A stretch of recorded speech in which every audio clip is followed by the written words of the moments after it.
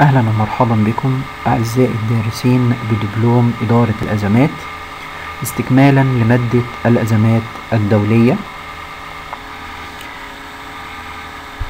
النماذج العملية للأزمات الدولية.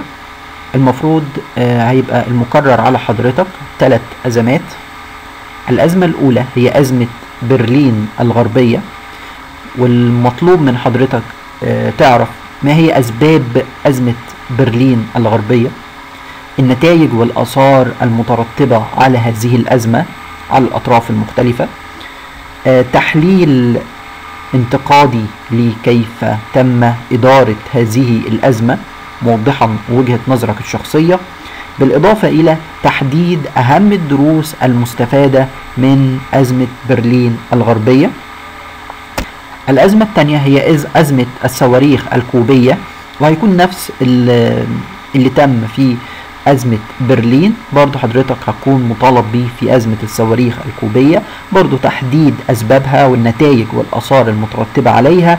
تحليل كيف تم إدارة هذه الأزمة والدروس المستفادة منها. ونفس الكلام بالنسبة لأزمة كوسوفو.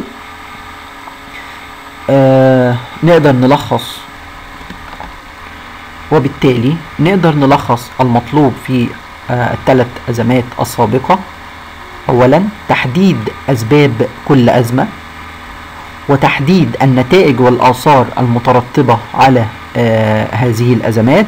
ثم تحديد كيف تم التعامل في إدارة الأزمات السابقة موضحا وجهة نظرك الشخصية. وأخيرا تحديد أهم الدروس المستفادة من كل أزمة. وبالتالي كده تم الانتهاء من المقرر الخاص بالأزمات آه، الدولية. مع خالص تمنياتي لكم بالتوفيق والنجاح والتفوق إن شاء الله.